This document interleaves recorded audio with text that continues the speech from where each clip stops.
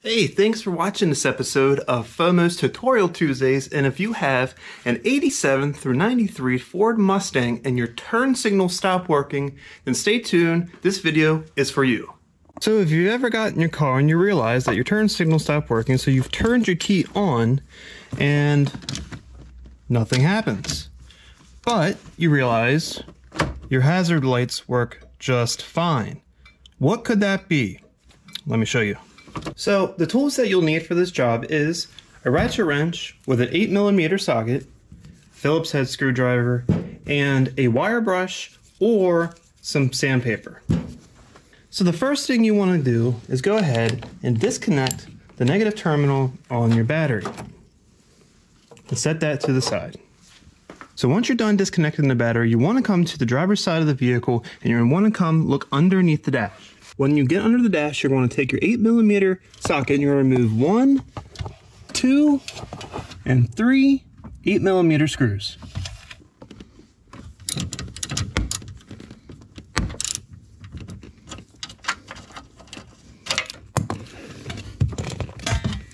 Next step is come to your steering column, locate the steering column cover here, and you'll notice that underneath there are two holes, one here and one over here.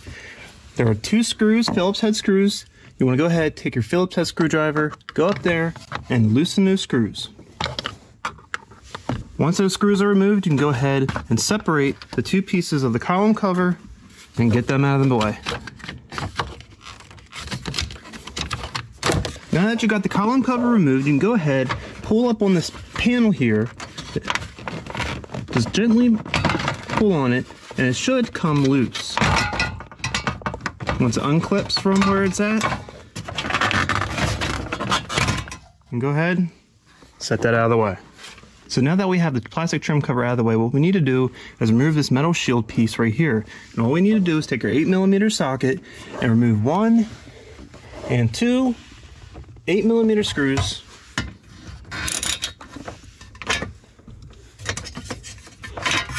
And once those screws are removed, be able to remove this piece move it out of the way. All right, so now underneath the steering column, you'll notice a bunch of different wires and connectors, but the one we want to focus on is this one right here. This is what's referred to as the multifunction switch. Oftentimes, this will get corroded, the contacts on the inside will get corroded and cause a lack of connection when you turn the key, which will therefore uh, not activate the turn signal stalk switch. So our remedy is to remove this and clean those contacts to fix it. In order to do that, all you want to do is come over here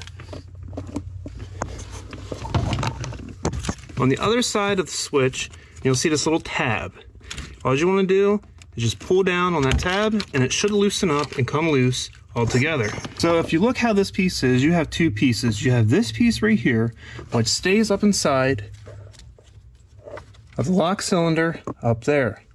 When you turn the key, it moves this piece and it moves the contacts on the bottom part here, and that's what turns the ignition on and off. So if this piece isn't making good contact to the bottom piece, then you might have issues activating your turn signal switch. So all you want to do is take some sandpaper or a wire brush and go ahead, clean the contacts on here and use some electrical cleaner, wipe it off, make sure the contacts are nice and clean, and then you can reconnect the switch.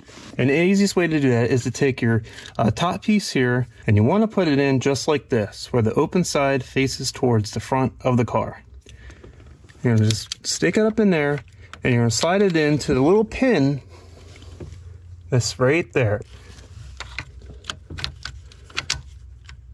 The next thing you want to do is take the bottom half of the switch here, the connector, and you're just going to go ahead. You're going to push it up onto that piece, push it towards the back of the car, lock it into those two tabs right there, and then push the back side in until it firmly seats.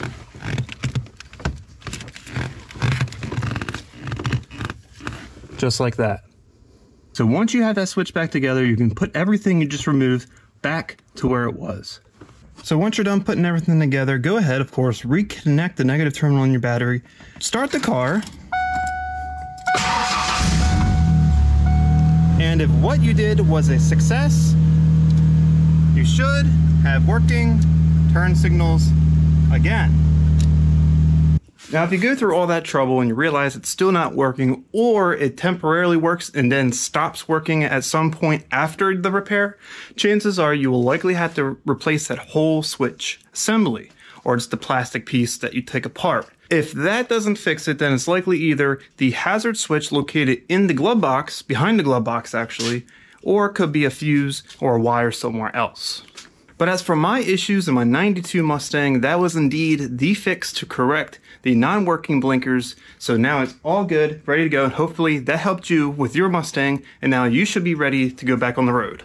And that is it for this video. Thank you so much for watching. If you liked the video, please give it a thumbs up, share it with your friends and family, and if you want to see more videos like this, then go ahead, subscribe to the channel, and keep a lookout for the next video.